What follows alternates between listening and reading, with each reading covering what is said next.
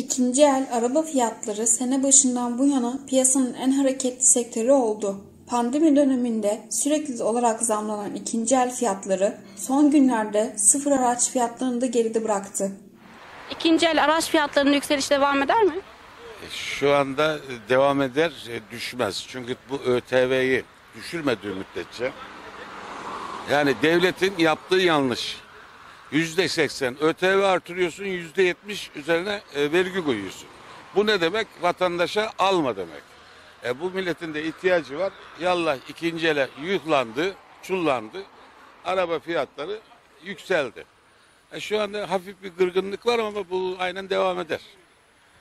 Peki e, ikinci el arabaya vatandaşın talebi nasıl? Yani şu anda bir gırgınlık var.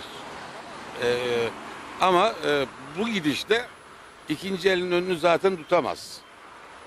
Tutması için de ithalatı selbese yani eski seviyeye getirirse ikinci elde fiyatlar düşüşe gider. Bu şekilde düşüşe gitme şansı yok. Yani bu memlekette yüzde seksen enflasyon varken televizyona çıkıp da enflasyon yüzde on bir nokta altmış demek yalan konuşmanın bir numarası.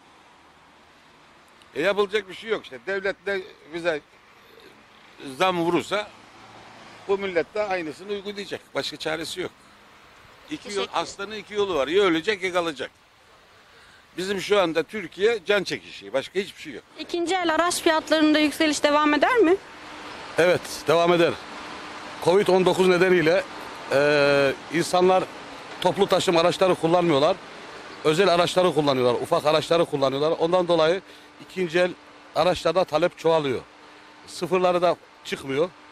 İkinci el araçlar çıkmaya devam eder. Covid-19 hastalığı devam ettiği müddetçe. Biraz da insanlar yatırım amaçlı da alıyorlar. Araçlar yükseliyor diyor. Biraz hareket ondan. Eee yatırım parası olan arabayı alıyor, çekiyor, yazıyor fiyatını, satıyor.